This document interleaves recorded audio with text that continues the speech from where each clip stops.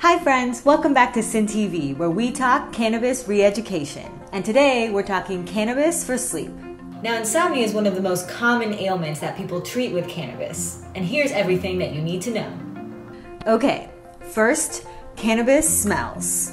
There are certain smells that are calming, soothing, right? Like lavender, chamomile. That's why everyone out here is like, Essential oils that people use for things like yoga and meditation contain smell compounds called terpenes. And you know what else has terpenes? That's right!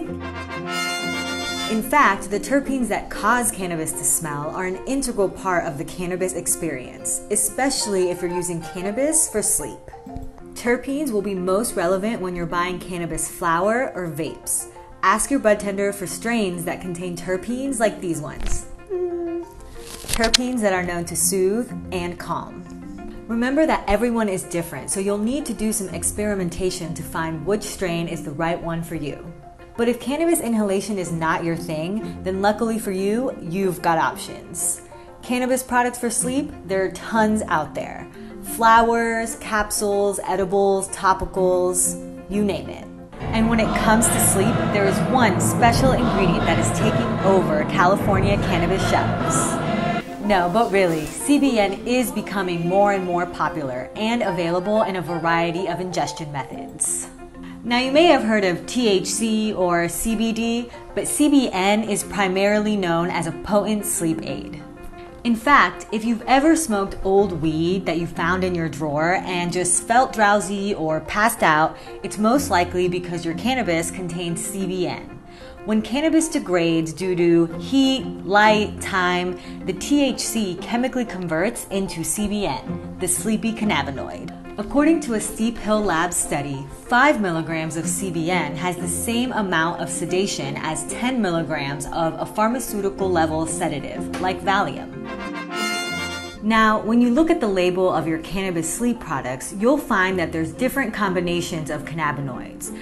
Each has varying levels of CBN, THC, and others, and these are known as cannabinoid ratios. There's no definitive research on which of these ratios is the most effective for sleep, and generally, there's no 100% surefire cannabinoid ratio.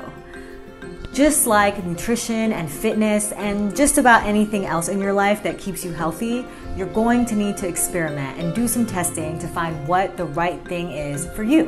Read the ingredient list to find the cannabinoid ratios in your product and be sure to read the other ingredients too.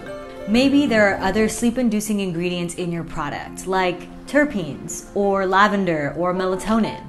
Or maybe you want to consider your dietary guidelines when choosing your product as well, like keeping your edible sugar free or vegan. You can find CBN in a variety of form factors in the recreational market, so be sure to consider your preferences as you choose the right CBN product for you. I've been testing these out myself and am so impressed with the variety. Tea, honey, creams, capsules, there's everything under the sun, so keep an open mind as you're testing these out because there really are a great variety of products.